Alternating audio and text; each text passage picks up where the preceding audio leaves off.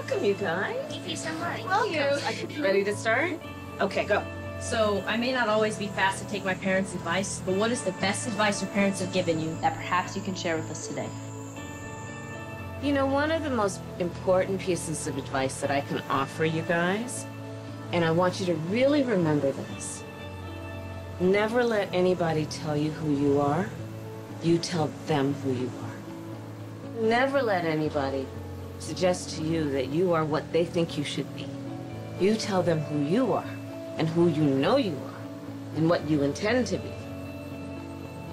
Got that? Yes. All right. I got more advice. You just let me know.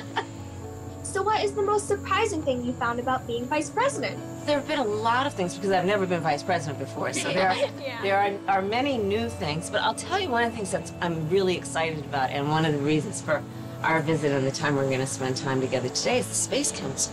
My mom was a scientist, so she would take us to the lab with her like on the weekends and after school because she had to work long hours.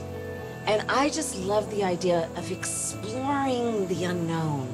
And then there's other things that we just haven't figured out or discovered yet.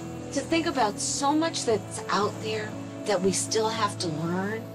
Like, I love that. I love that. And so I'm very excited about the Space Council. We're going to learn so much um, as we increasingly, I think, are curious and interested in the potential for the discoveries and the work we can do in space. So that's one of the things I'm most excited about.